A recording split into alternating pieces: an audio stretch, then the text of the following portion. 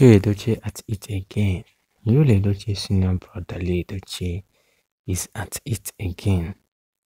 There is no way you can say that this man Leo Edochie is he for real or he's just faking everything like his younger brother Yul Edochie. Shami gonna welcome back again to my channel. This is Tines Media TV. But my older new subscribers, feel less and comfortable. Get better just for you guys today. My correct people, my wonderful people, you don't see how everything unfolds, how everything is going, how the story of Edochie family is unfolding every day by day. With the way Edochie is talking about peace. When we needed the peace, you guys betrayed her. You guys take, took her for granted. I want to say which kind of peace are you talking about? Una brother betrayed her in is in such a painful way.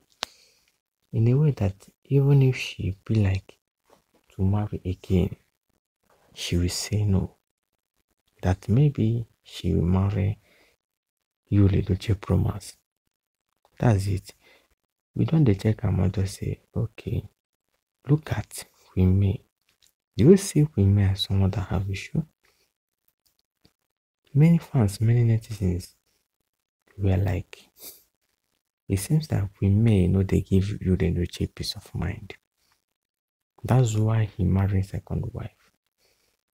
Then there is an argument like, is it that Judy Austin is the one giving you the Richie peace of mind? Someone that is doing all this rubbish on social media, posting anyhow on social media. Do you think she is the one giving you the peace of mind. Even if your first wife not give you peace of mind, marrying second wife wouldn't give you the chance and hundred percent sure that you will get the peace of mind that you needed. Peace of mind now God they give them, no be human being. No. no be human being they give peace of mind. I don't talk this thing and I will keep saying it that Judy May is such a responsible woman. You can't just point accusing fingers on her, and say that she is not a good person.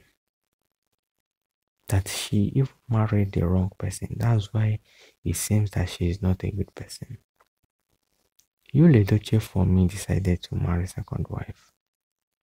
He decided to marry someone that he impregnated. That's his choice to marry someone that he impregnated. Not that the thing came up to him suddenly to marry second wife, but seems like he has no choice again. That's why he ended up saying that he will marry someone that he impregnated. I've said this several times that Yul Edochie made a very big mistake here. You impregnated a woman, okay, that's not all.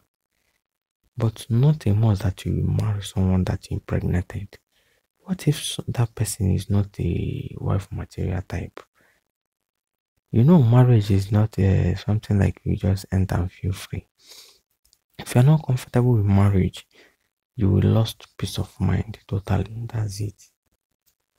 Then him, do you marry Judy Austin out of pity or out of many people, or they said uh, you should you will surely marry someone that you impregnated is a must. No, it's not in any constitution. You can take care of the person, but marrying that person is not a must.